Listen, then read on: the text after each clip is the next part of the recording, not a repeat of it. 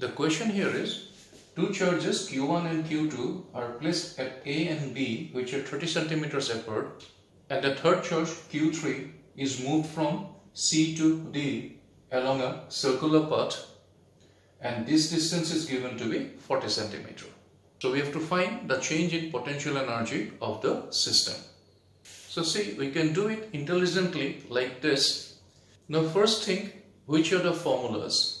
The formulas here will be formula number 9 and 10. Potential energy of two charges and potential energy of more than two charges. As I explained in the video where I had discussed about formula 9 and 10, if you have not watched the video where I have explained the formulas 9 and 10, please watch that video which is class 2 of formulae and important points of electrostatics. Then you watch this solution. Then, then it will become very easy for you to understand. So let me proceed. Let's say Q1 is the first charge we have brought here in this area. So potential energy of Q1 is 0. Next, let's say Q2 is the second charge we have brought to this point. So now Q2 will have some potential energy. Right? So the potential energy of the whole system will be potential energy of Q1 plus potential energy of Q2 which will be equal to the potential energy of Q2 because this is 0. Right? Now say Q3 is the third charge we bring to this point. So now the potential energy of the whole system will change. Now when we move this Q3 from C to D, the potential energy of the whole system will again change. So you have to find the difference in potential energy between this configuration and this configuration. Right? Now see, let's use some common sense. Let's be smart in solving this problem. From the initial configuration and the final configuration, the only change is for the charge Q3 position of Q1 and Q2 does not change. So total potential energy of Q1 and Q2 does not change. But the potential energy of Q3 will change. Okay. Now note that Q3 is at a distance of 40 centimeter. At point D also it is at a distance of 40 centimeter because it is a circular arc. That means potential energy of Q3 due to Q1 will remain constant whether it is at position C or it is at position D. Clear? I repeat again. Potential energy of Q3 due to Q1 will remain same whether it is at C or it is at D. But the potential energy of Q3 due to Q2 at C will be different than the potential energy of Q3 at D because this distance is different than this distance. This is shorter, this is longer. Okay, and as I said before, in both the configurations, that is initial configuration and final configuration, potential energies of Q1 and Q2 remain same. So that means change in potential energy, change in potential energy of the system is only because of changing potential energy of Q3 at this position and this position. Okay? So, let's do the calculations now. Potential energy at the final position for Q3 due to Q2 will be 1 by 4 pi epsilon naught Q2 into Q3 divided by this distance. So this is 40 centimeter, this is 30 centimeter. So this will be around 10 centimeter. So the 10 centimeter means 0 0.1 meter. Okay. this is the potential energy at this position.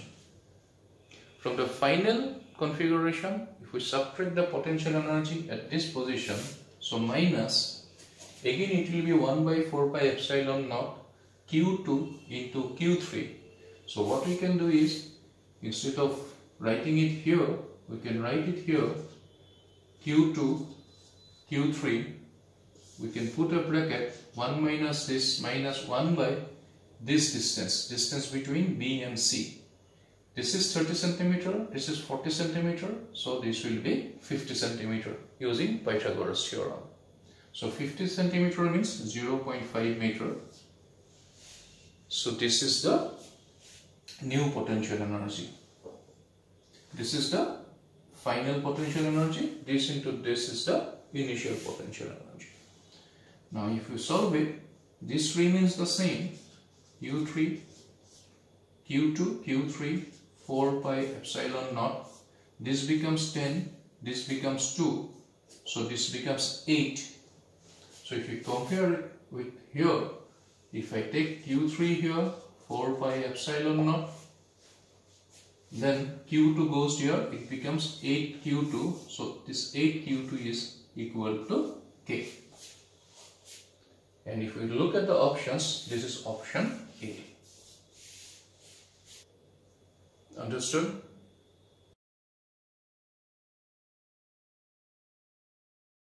So if you do it this way, you don't have to do lot of calculations. The calculation become very simple.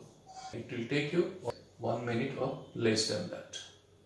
But to be able to use this approach, your concept has to be very clear. You must be able to analyze the problem to realize that the potential energy of this does not change, the potential energy of Q2 does not change, only potential energy of Q3 changes. Clear? Usually what people do is, they write the potential energy of the initial configuration and they write the potential energy of the final configuration then they subtract. If you want to see how that is done let me do it. See potential energy of the final configuration. What will it be? So potential energy of q1 that is 0 plus potential energy of q2 due to q1 so that will be 1 by 4 pi epsilon naught Q1 Q2 divided by AB, AB is 0.3 plus potential energy of Q3, now Q3 is here, I am writing the potential energy of the final configuration.